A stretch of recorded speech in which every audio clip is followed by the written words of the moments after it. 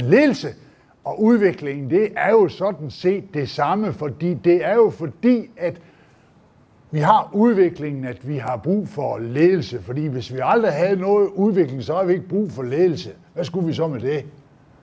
Fordi så kunne vi jo bare bruge vores vaner.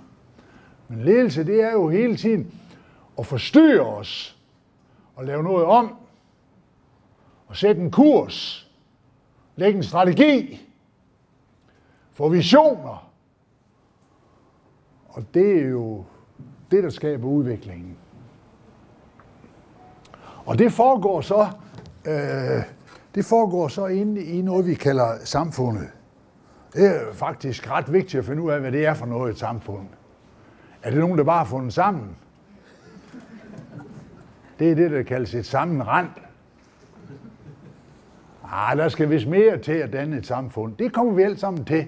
Men nu vil vi lige gå og kigge på udviklingen, og den handler jo meget om økonomi. Og øh, jeg synes faktisk, at det er ret sjovt, at det ord økonomi, det er et ord, grækerne de har fundet på. Det er, det er jo ret sjovt. Hvem har nu fundet på det? Det er grækerne. Og det betyder, inde i ordet er der to betydninger. Og den, den sidste del, den der hedder nomi, den hedder på græsk nomos, og det betyder, at man skal vide, hvor meget man er til rådighed, inden man begynder at bruge af det. Det er det, vi på god gammeldags dansk siger, at sætte tæring efter næring. Og da det ikke er ord, der bliver brugt mere, og der sikkert er mange, der ikke ved, hvad det betyder, så bruger vi ordene i den rækkefølge, de står. Altså først tæring, og så er det væk, og så opdager vi bagefter, at vi ikke har råd til det. Dengang da regeringen her kom til for et par år siden, der kiggede de i kassen, der manglede 100 milliarder. Så skyndte de sig lidt at lukke den igen, fordi det var lidt for ubehageligt. Men øh, de blev tvunget til at kigge ned ind igen, så manglede der kun 75. Og så sagde enhedslisten, så har vi 25 at bruge.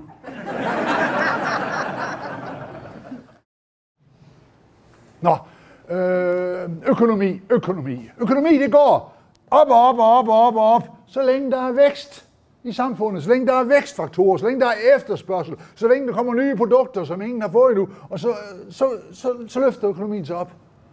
Og så på et tidspunkt, så kan det ikke komme højere op, fordi så er markedet mættet, og så øh, er der ikke mere løft i det, og så kommer der en periode, hvor det går ned. Og det gør det i virkeligheden ikke i virkeligheden, men det er bare noget, vi siger, øh, fordi det går, tit går det bare hen. Der, der, der forsvinder ikke noget, men, men for en tid der er, er væksten, den, den, den som står stille. Men så, vi, vi tegner det sådan her, vi snakker om det sådan her. Det hedder krise, det der. Og det her vendepunkt, det ved I alle sammen, hvornår det var. Det var i 2008.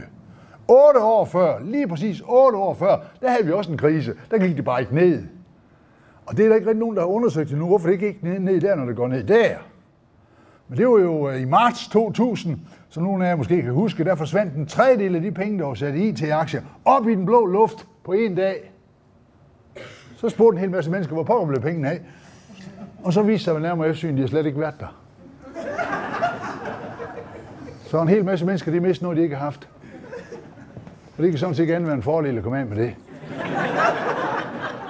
Det, det er ret besværligt at gå og passe på noget, man ikke har i virkeligheden. Og det er det, der er spændende ved økonomien. Hernede i 93, der vendte økonomien. Og øh, før den tid, der gik vi ned af i seks år. Det kaldtes øh, kartoffelkuren, dengang det var der. Den startede her i 87, og indtil da, der gik det opad i fem år. Øh, så er vi helt tilbage i det, der hedder afgrunden, og det er 1982. Før den tid, der gik det nedad i ni år. Og det, der startede nedturen, det var noget, der skete i 1973. Det hed oliekrisen. Og før den tid, så gik det opad i 15-16 år. Sådan går økonomien. Op og ned, op og ned, op og ned. Det hedder zigzag. Og det der, det er typisk zig. Øh, men det kan man først se, når man kommer i sak. Man bliver meget klogere, når man er over i sak. Udvikling, det består i at bevæge sig ind i et nyt rum hele tiden, som man ikke kender på forhånd. Og der skal man omstille sig til nogle forskellige måder at tænke på. Øh, og det er jo det, der kræver ledelse. Øh, øh, den her kant herhen, det er den kant, der hedder forkanten. Og det er den, vi er på. Hvad laver du? Jeg er på forkant. Hvordan er du kommet helt derop? Jeg er fuldt med de andre. Hvad laver du så nu? Jeg må jo ikke lave noget, om på forkant, jo. Der er ikke lavet noget foran endnu.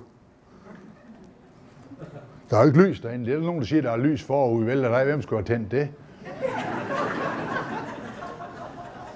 Lys, det tænder det først, når vi kommer derind. Der er bælragende mørkt derinde, men det er derfor, fremtidsforskerne de siger, at det ser sort ud. De vil lade os til at tro, at der er problemer inde i fremtiden, inden vi kommer derind. Der skal da ikke problemer inde i fremtiden. Hvem skulle det ind med dem? Altså, det er jo en fuldstændig dødssyg tankegang. Problemerne kommer der først ind, når vi kommer derind. Lige når vi går ind, så tænder lyset, og så kan vi se, der er sgu da mange problemer herinde. Det var da sjovt, det var det i går. Det var da godt tyde på et problem, det er noget, vi hele tiden skaber i takt med, at vi bevæger os. Og det er jo derfor, vi har virksomheder. Det er fordi, der er nogle mennesker, der vil have betalt for, der vil betale for at få problemer løst. Hvis vi ingen problemer havde, hvad skulle vi så med hinanden? Og det er vel det, der hedder bøvl. Det er vel hele tiden at bytte de problemer, man har på et givet tidspunkt ud med nogle nye. Og det burde udviklingskonsulenter sådan set sige, når de udvikler. I træt de problemer, man har, så skal jeg skaffe jer nogle nye. Her vil jeg tegne samfundet. Jeg vil tegne det i sådan en firkant. Det er det, vi på de højere læreanstalter kalder en model. I starten, når folk begynder at læse, så siger de, at det skulle da bare en firkant. Men det har ikke været der ret lang tid, så kan de godt se, at det er en model, du har der. På græsk hedder det et paradigme. Para, det refererer til noget, der er udenfor. Det er derfor, man kan se, hvad der er indenfor. Parallel, det er noget ved siden af, og paranoia, det er noget, der er efter en. Og parasitter, det er noget, der ser og irriterer en. Paraboler, det er noget, der henter noget langt udefra. Paradentose, det betyder, at det omkring tanden er... Øh, der er ikke noget vej med tanden. Når den falder ud, så er, den, så er ikke, er ikke overhovedet ikke hul i den. Men den faldt ud. Paradis, det betyder indhegning. Det er den allerførste samfundsmodel, vi har beskrevet. Meget enkel samfundsmodel. Øh, to mennesker går ind i en have, de har ikke noget at lave, øh, så de skal bare få tiden til at gå. Her udenfor er et stort område af Herrens Mark. Det er der, vi befinder os i dag. Og det spørgsmål, som den her case, jeg kalder det en case, fordi jeg har været på en handelshøjskole, en case, øh, det spørgsmål, som den der case helt automatisk jo rejser, øh, det er jo, hvorfor de bliver smidt ud. Og det er fordi, de er nysgerrige. Hvorfor de er nysgerrige? Jamen, det er fordi, de er mennesker. Det derovre, det er også et billede af menneskets nysgerrighed. Øh, det kan da godt være, at når det kører ned af her, så er det krisen, vi skal løse. Men så snart vi kommer herned, så begynder vi igen at pille ved tingene, der noget oven på hinanden, der aldrig står oven på hinanden. Vi er jo eksperimenterende væsener. Vi gider da ikke at være det samme og det samme og det samme og det samme sted. Det er, det er jo den, den, vigtigste, i, i, den vigtigste drivkraft i mennesket, det er jo den, den ting, der hedder initiativtagning. Der er et eller andet sted her, ind under hjernen, lige over næsen her, der ligger der en lille fyr, der hedder en hypotalamus. Gør du det? Ja! Det er noget grækerne, de har fundet. Hypo, det betyder nedenunder, og talamus, det betyder kammer. Det er det, ens mor refererer til i gamle dage, når hun sagde, skal du have en på skrinet? Det er kammeret. Og der, lige, der ligger sådan en lille fyr. Den, det, er den, det er iværksætteren. Der er en iværksætter inde i os alle sammen. Det er derinde ambitioner, de fødes. Det er derinde initiativer, de bliver til. At hvis vi har gået længe i det samme rum, og der ikke sker noget som helst, så tager vi et initiativ lige inden de andre skulle til at tage dem. Og i samfundet, der er så veludviklet som det danske, der behøver alle mennesker sådan set ikke gå og tage initiativer hele tiden. Dronningen burde sige nytårsaften, når hun tager, øh, takker os. Øh, tak til alle dem, der ikke har taget initiativ i år. Øh, fordi hvis vi gjorde det, så var det ikke til at være her. Så jeg vil tro, at øh, omkring 10 procent, det, det er sådan set fint i et, i et veludviklet samfund, og det er sådan set de 10 procent, der står herinde. Og I kan se, så er det 90 procent, de er så der. Ja, det er dem, vi har i reserve. For hvis dem der holder op med at tage initiativ, så vil der være en masse, der tager dem lige bagefter. Det er jeg sikker på. Jamen tror du også, at en mand ville tage ud af bordet, hvis konen hun lå det stå? Det ville han, ja. Måske ikke lige den samme aften, men han ville gøre det. Et samfund det er delt op i øh, fire rum. Og inde i de fire rum, der er der fire fællesskaber. Og disse fællesskaber, de går så ind i hinanden og danner et stort fællesskab. Heroppe i det her hjørne, der har du det, der hedder en familie. Og en familie, det er noget helt, helt andet end et firma. Derfor er det en god idé at sætte det over for hinanden, fordi så kan man sammenligne det. Der er mange danskere, de siger, når man sammenligner to forskellige ting. Det kan du sådan set ikke sammenligne, men der er jo ikke noget ved at sammenligne noget, der er ens. Det er netop ved, at det er to vidt forskellige fællesskaber, der bygger på vidt forskellige præmisser, og hvor du går ind i dem på vidt forskellige måder, der stiller forskellige krav til dig. En familie, det kan man læse om i ordbogen, det er et sted, hvor man giver mere, end man får, uden at skrive det ned. Og det er der mange, der ikke lige tænker over, når de starter. Mange vil måske sige, så skal jeg ikke lige sætte det i gang. Fordi så kommer der jo ikke noget ud af det jo. Øh. Men det er en stor fordel at have det, fordi så kan man glæde sig til at komme hjem. Det kan man jo ikke, hvis man ikke har et hjem. Og det betyder meget for danskere, skulle hilse at sige, det er jo glæde til at komme hjem. Og mange danskere, de går, når de er på arbejde, lige så glæder sig til at skal hjem. Og tit er den glæde meget større end glæden ved at være hjemme. Fordi det er jo ikke noget, man sådan går og glæder sig over, når først man er kommet hjem, men altså på vejen hjem. Sådan.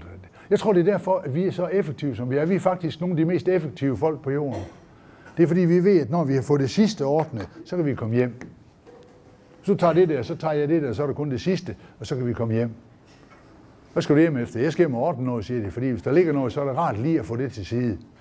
Så tager det der, så tager jeg det der, så er det kun det sidste, så kan vi komme ind og sidde. Og jeg tror faktisk, at det er noget, der karakteriserer danskerne. Det er øh, det der med at komme ind og sidde, når vi får det sidste ordnet. Og det ligger i vores opdragelse, som vi har fået heroverfra på en eller anden måde, at man først skal komme ind og se, når man får noget ordnet. Man kan ikke, hvis man står op en morgen og siger, at jeg starter med at hygge mig, så er det til en side, så har man ikke øh, fanget det. Så, så øh, når vi kommer ind og ser, så ved I, hvad der sker. Hovedet det falder ned her, og det er det, der her hygge sig. Ordet firma, øh, det betyder underskrift, det er italiensk. Og det er fordi herover der bliver man ansat. Det kommer man jo ikke herover. Der bliver man gift. Det er jo noget helt andet jo. Forskellen på at blive gift og blive ansat, det er, at når man bliver ansat af folk, så lægger man vægt på deres kvalifikationer. Det er, det er jo slet ikke ind i billedet her. Det er jo det, der er så flot ved at blive gift. At, at øh, det er ikke kvalifikationer. Det er, det er en selv, som man er. Eller som den, man bliver gift med, tror man er. Fordi det ved man ikke, når man bliver gift. Kærlighed går blind, man er nødt til at gifte sig for at få synet tilbage. Så her er to vidt forskellige måder at tænke i mennesker på. Herover ser der ejere. Herover er der ikke nogen ejere. Der ejer man det selv. Herover ser ejeren, de sidder heroppe. Hvad laver de? De sidder og holder øje med, hvad der foregår. De har brugt sådan nogle huller nede i loftet. Og så ser de og kigger, om der er gang i butikken. Er der gang i butikken? Og nu kan vi definere ledelse ind i den kasse derovre. Ledelse, det er at lave balance imellem de ansatte, kunderne og ejerne. Simpelthen. De skal være nogenlunde lige utilfredse. Og hvis de ansatte går og griner, så har de fået for meget i løn. Hvis kunderne går og griner, så har de fået varen for billigt. Hvis ejeren de går og griner, så har de fået for meget i udbytte. Så lederen går hele tiden rundt og kigger nu. Der er vel ikke nogen her, der går og griner. Øh, ledelse er der både der, og der, og der, og der. Foreningsledelse er noget nemmere, fordi der har man jo sådan set hele flokken bag sig. Øh, her er det sværere, fordi der er den der modsætning imellem de tre. Og her er det også meget, meget svært, fordi nogle af de ledere, som ser hernede, det er nogen, vi selv har valgt. Og øh, det er ret risikabelt at lade folk selv vælge øh, de mennesker, som skal styre dem. Det ved jeg, for jeg har været på en højere læreranstalt. Og øh, det er ret øh, problematisk, det der. Derfor har vi også ansat nogen hernede, som kan øh, ligesom øh, skubbe lidt til dem deroppe. Men øh, hvis de er bange for dem deroppe, så gør de ligesom de deroppe, de gør. Og så dur det ikke. Og det er en spændende, spændende ledelsesproces. Og det er i den forbindelse, jeg så er så glad for, at jeg kan vende tavlen, fordi så kan vi nemlig snakke om det der ledelse. Og det skal være ledelse i dag, og det skal være ledelse på dansk. Og der er det helt specielt i Danmark, at vi er, vi er sådan indstillet, så når det kører, som det skal, så er vi sådan set helst fri for, at nogen de blander sig. Når det så brænder på, så kan vi godt lide, at vi har nogen, vi kan pege på. Og det er jo derfor, vi har et skab til ledelse, noget der hedder et lederskab. Øh, amerikanerne de har et skib til ledelse, øh, leadership. Øh, de forestiller sig noget, der kommer i bevægelse med kurs og kompas og kaptajnen, der står på broen. Et meget flot billede. Vi har et skab til det. Og det har så den fordel, at vi altid ved, hvor vi har det. Og så har vi også et sted til lederne, når vi ikke har brug for dem. Hvad laver du? Jeg leder. Hvad leder du efter? Jeg leder efter noget, der går os bedre. Så behøver du ikke at lede ned ved mig. Det kører, som det skal. Du kan sætte den i skabet, så skal jeg nok kalde, hvis der bliver noget. Til gengæld er det meget, meget rart at have sådan et sted, man kan gå hen og banke på og så sige, vi står lige og mangler ledelse. Der er helt stille derinde. Det er fordi, de sidder op på den øverste hylde og øh, arbejder med øh, strategi. I kan forestille jer, at de står, de står her, de står her, og øh, de kan ikke komme videre. Men de kan godt forestille sig, hvad der er inde i rummet, fordi det er jo menneskets unikke egenskab, at vi kan forestille os noget, der ikke er. Vi kan lege, vi kan lukke øjnene, så kan vi lege, at der er en scene foran os. Det er derfor, det hedder et scenarie. Og det er det, lederen de sidder lære op med lukkede øjne og forestiller sig. Hvorfor lukker de øjnene? Det er fordi, det foregår ind i hovedet på dem. Visioner, det er noget, man har ind i hovedet. Det er derfor, de lukker øjnene, så det ikke smutter ud, inden de har set det. Og så lige pludselig, så trækker de sådan en lang, lang sætning ud af munden. Det er en målsætning. Og det er heroppe i det her rum her. De, øh, de diskuterer, hvem de vil have som kunder. Det er da en vigtig diskussion. Fordi øh, øh, det er da rigtigt, som der står et sted, kunden har altid ret. Hvad så, hvis det er går forkert? Det er så da fint, man kan få sådan en kunde vist bort i god tid. Du er gået forkert. Kommer der en kunde herover, der vil have service. Jeg vil gerne have service. Det har vi ikke. Det er en servicefri virksomhed, mand. Du skal selv finde varerne, selv pakke dem ned og selv køre dem rundt og selv scanne dem ned ved kassen, og så se jeg komme hjem med dem. Der er ingen vareudbringning, der er ingen kreditgivning, og der er kø om lørdagen. Hvad er det for en virksomhed? Den her netto. Vi har droppet alt det der detaljeservice. Du skal selv gøre det. Det er derfor, varerne de er billige. Det er derfor, du gerne vil stå i kø om lørdagen. Fordi vi sparer på kassebemandingen også, sådan at øh, folk de kan fornemme, at her er det billigt. Det, det, det, det... Se at komme væk. Så her drejer vi på kvalitetskampen. Den vedrører også service. Den vedrører hele vores øh, koncept, som det hedder med et fint ord. Øh, her opstår der kompetence. Hernede der står der konkurrenceevne. Konkurrence og kompetence, det rimer på hinanden, det er fordi, det er det samme ord. Competition og kompetence, det hedder det på engelsk. Der kan man tydeligt se det. Så strategisk planlægning, det er ligesom at sige konkurrence, kompetence, kunderkvalitet. Konkurrence, kompetence, kunderkvalitet. Og blive ved med det indtil det sådan ligesom hænger sammen i et øh, koncept. Hvad betyder det der ord, koncept? Det betyder noget, der ikke er skrevet rent endnu. Hvorfor er det ikke skrevet rent endnu? Det er fordi, vi ved ikke, om det kommer til at passe. Vi står her på kanten, mand. Vi har slet ikke været derinde endnu. Vi gør os nogle antagelser om, hvordan det vil være, og på den måde så øver vi os i at tænke i fremtid. Og det vil sige, at hvis det ikke bliver sådan, som vi har tænkt os det, så har vi tænkt os det, og kan se, at det ikke er sådan, som vi har tænkt os det. Det må da alt andet lige være en fordel frem for dem, der slet ikke har tænkt. Så budgetter, det er noget, man lægger, som har noget at afvige fra. Strategier, det er noget, man lægger, som har noget at afvige fra. Det er en proces, man hele tiden gennemfører, fordi man ligesom vil gerne have op i fodballerne fornemmelsen for, hvordan jorden bevæger sig. Fordi jo mere fortrolig man bliver til det, jo mindre går man så til at bange for det, når det bevæger sig. Det bevæger sig, det bevæger sig. Ja, gud bevæger det sig sgu da. Hele tiden, mand. Det er kun solen, der står, står fast. Det, det kører rundt hele tiden. Hernede i bunden, der har man energi. Det er græsk. Hvor kommer det fra? Det er noget, folk de er med på arbejde. Det er der ikke om natten. Det er noget, de får hjemme, når de ser og hygger sig. Og når de har hygget sig et stykke tid, så, så kan de mærke, at nu er batteriet ladet op. Så er det ikke sjovt mere. Det er ikke sjovt at hygge sig, hvis man har hygget sig. Hvis du kommer ind og siger, du kan godt tage en tur til, så er det også den sidste. Det kan jeg godt love dig for. Fordi det er faktisk ikke sjovt. Det er meget, meget sjovere at skal hen og møde nogle mennesker, som man er fælles med et projekt om. Her har vi et eller andet projekt, her har vi kunder, her har vi opgaver, her har vi udfordringer.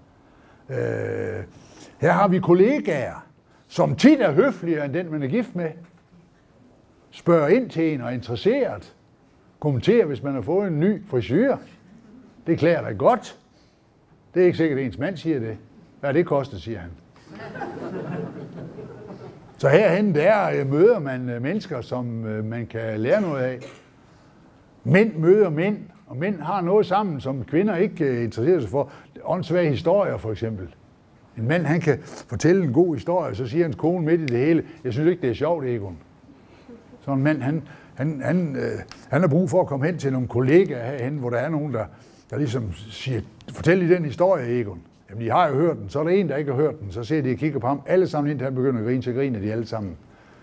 Kvinder fortæller også historier, men de griner ikke bagefter. De ser helt alvorligt, så siger en af dem, at det er rigtigt. Så mænd og kvinder, de er forskellige, og det er det, der laver energi, det er, at vi har forskellige opfattelser af verden, forskellige måder at prioritere på, og det er det møde hernede, der laver energi. Øh.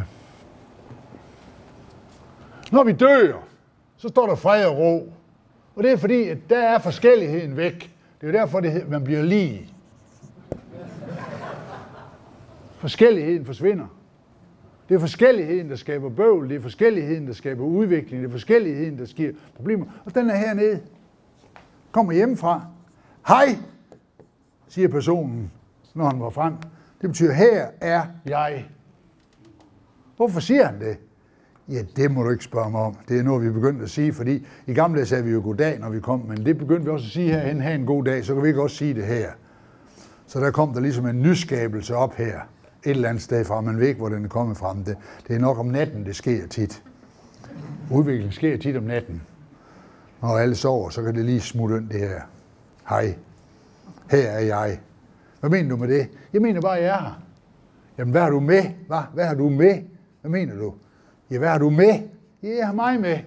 Jamen, udover det, udover det skal man have noget med. Udover det, jeg har godt humør, en positiv indstilling en øh, villighed til at øh, løse problemer, som opstår undervejs, en øh, villighed til at hjælpe dine kollegaer øh, forberedt til det møde, vi skal have i eftermiddag. Hold op, mand, det er mandag. Må man ikke bare komme? Øh, ikke, det duer ikke, du. Du skal gå ind for det med fynd og klem. Her i midten der har vi så noget, der hedder organisation. Og øh, det har dyrene også. Men de ved ikke, de har det. Det er forskellen på os og dyrene, at vi øh, ved, at vi har organisation. Og vi kan tegne det. Øh, og vi kan putte det ind i sådan nogle øh, systemer, sådan nogle mapper. Og de står her i midten af lederskabet. Og der er heldigvis sådan nogle huller i. Og de passer lige til en pegefinger. Organisation, ordet organisation, det er græsk. Organos, det betyder redskab. Og det her, det er det, som man på lederseminaret kan få med hjem som værktøjer. Men værktøjer duer ikke, hvis de ikke bliver sat sammen med strategier og påvirker energier. Og det er der hele himlen, humlen den ligger. Den søge-lære-proces, jeg har tegnet derovre, den ligger hele tiden i, hvordan kan vi få nogle af de her værktøjer til at lave sådan nogle kroge, der går ned og får fat i den energi, som udvikler alting, og samtidig har pile, der peger op på den her strategi. En god måde at analysere ledelse på, det er ved at jage en finger ind i en af de her mapper. Det kan for eksempel være budgettet. Den står der. Så gør vi sådan, når vi lægger budgetter, lægger budgetter, lægger budgetter, så... De ved ikke, hvor de har lagt dem henne. Jamen, hvor har dem henne, da I lagde dem? Ja, der var det inde i mappen jo. Så kigger man lige ind i mappen. De er derinde endnu. Har I slet ikke haft dem ud? Nej, der har været så meget her på det sidste. Vi har ikke lige haft, vi har ikke lige haft tid til at kigge på det. Hvornår tager I så budgetter nu af mappen? Det er, når vi får nye ud med de gamle ind med de nye. Det kører fuldstændig planmæssigt. Så er det ikke ledelse. Fordi grunden til, at vi har budgetter, det er, at vi vil relatere dem til det, vi vil. Så når vi læser budgetterne, så er det fordi, at vi har valgt det deroppe. Det her, det er det, vi vil. Det her, det er det, vi gør. Og hvis der er sammenhæng mellem det, vi vil, og det, vi gør, så kan vi lige pludselig se, hvilken betydning vi selv kan komme til at spille. Og det er jo det, der påvirker vanerne. Fordi det, der er hernede, det er faktisk vaner. Det, der er her, det er værktøjer. Det, der er her, det er visioner. Det er løsagtige forestillinger om, hvordan verden er, og hvordan vores virksomhed den skal stå i den verden. Så det handler om V, V, V, bare med enkelt V. Det her, det er ansættelsesprocedurer. Så gør vi sådan, når vi ansætter nye, ansætter nye, ansætter nye. Så kan man lige spørge, hvordan de gør det jo. Ja, vi følger det, der står i mappen der. Snakker I så med folk om det her op, så de ved, hvad de går ind til? Nej, det skal det ikke have vi, hvis det ikke vil ansættes jo. Fortæller I dem så, hvordan I har det og sådan ting? Nej, for så er det ikke sikkert, at de vil ansættes jo. Så proceduren, de får lov til at stå for sig selv, uden at du hele tiden relaterer dem til det og til det. Og det er jo det, der hedder ledelse.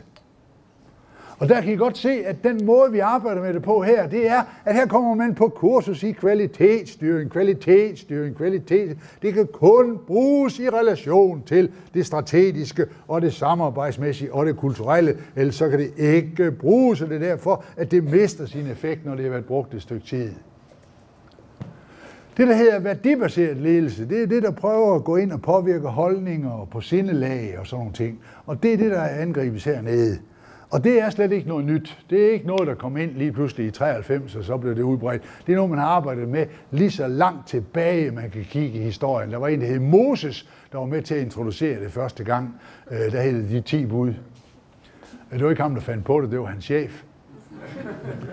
øh, en dag kom Moses op til chefen, og sagde han, jeg har lige krattet 10 regler ned på noget ler her, dem kunne du godt begynde at implementere, for det er et større arbejde, man lige regner med. Og det har jo også vist sig, at øh, det er svært. Og det er jo netop, og der kommer den der paradishistorie ind igen, det er jo men, netop menneskets personlige, individuelle fortolkning af, hvordan verden ser ud, og så evnen til at agere med andre mennesker, der er energien i udviklingen. Mennesket læser jo en tekst på forskellige måder. Når der står i de 10 bud, for eksempel, du må ikke begære din næstes hustru, så siger en kreativ mandsperson, hvad så hvis ikke selv begærer hende? Jamen lige pludselig så er det en helt ny forudsætninger jo. Så går naboens kone rundt og er forsømt. Så er det jo næste kærlighed. Det vil sige, at den regel den kan vendes 180 grader. Og det kan alle de der systemer, der er her i. De står og falder med, at nogle mennesker er nogenlunde enige om, hvordan de fortolker verden. Og ordet bæredygtig, som tit står heroppe i målsætningen her, det er altså et ret rummeligt ord, skulle jeg hilse at sige.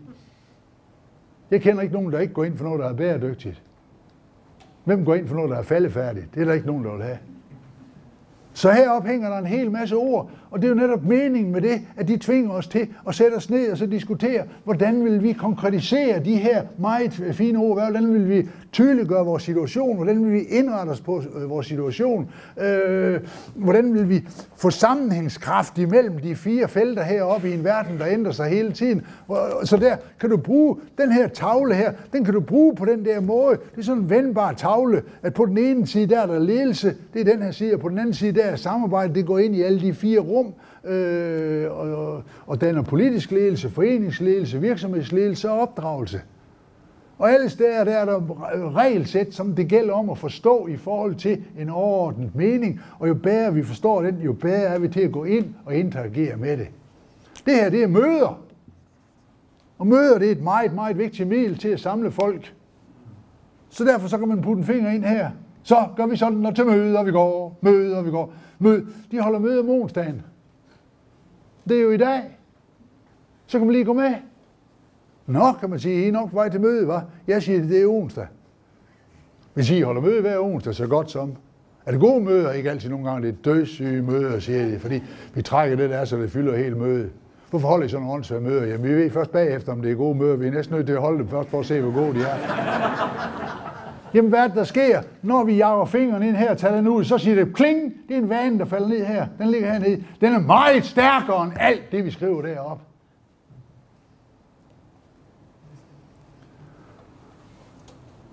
Så nogle gange, så er der nogen, der går ud af døren fra et møde og siger, det var sgu da et dødssygt møde. Så siger en af de andre, det kunne jeg have sagt der på forhånd. Hvorfor sagde du så ikke det der? Jeg vidste det ikke jo.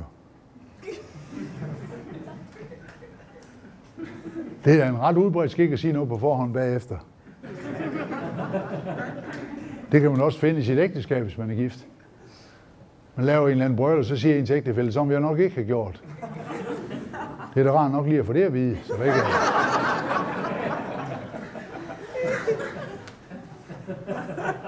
Sidste sommer der gav jeg min græsplæne et ordentligt lag kraftfoder, og så blev der brun plet over det hele. Og øh, jeg kunne da godt se, hvad jeg gjorde forkert. Lige pludselig så stod min genbo i indkørslen, så sagde han, jeg vil nok ikke have givet den så meget.